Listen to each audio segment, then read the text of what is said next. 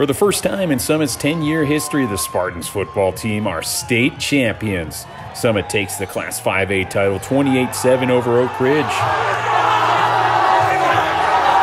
Mr. Football finalist Destin Wade had a hand in the first three touchdowns, rushing for two scores and throwing for another, while the Spartans defense bottled up the Wildcats all night. You know, it's just an unreal feeling still, uh, just still uh, taking that all in, and I just give all the glory to God. Oh, it's amazing. This feeling, it, you, it like can't get much better than this. Just coming out with the mentality we had and just winning. And my last year as a senior was just amazing.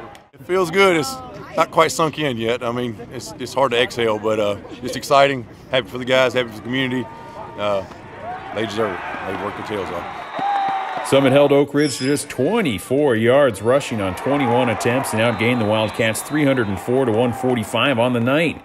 It's really unexplainable, man. I feel like it's to feel even more powerful when I get home and I, it really sets in. Uh, I going to be happier. This is what we worked for. We've gone through so much adversity, whether it be COVID or whether it be somebody being hurt or losing Keaton. Uh, but we've just prevailed. We've worked really hard. We've had great leaders, and it's just it's just been great. King finished with 66 yards on the ground and added three catches for 33 more. This one went for 19 yards in the second.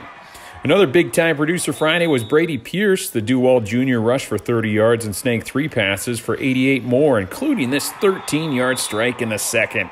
His fourth quarter pick six sealed the win.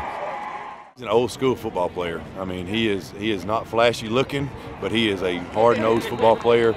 The quarterback of our defense, Coach Melton, loves him. He's a safety. He gets everybody right positions and uh, just become a playmaker for us on offense. Destin needed some some, some targets to hit, and, and, and Brady was catching everything and, and, running the ball hard, and, and ended up being our big play guy. And him and Jolley about the only two that played both ways. I know Destin did a lot tonight, but uh, very few of them played both ways, and just just he's a player, man. He's just old school. Pierce also had four punts, with one stranding the Wildcats at their own three yard line. Oak Ridge's lone score came late in the second when Mitchell Gibbons hit Brandon Hayward with his two yard pass.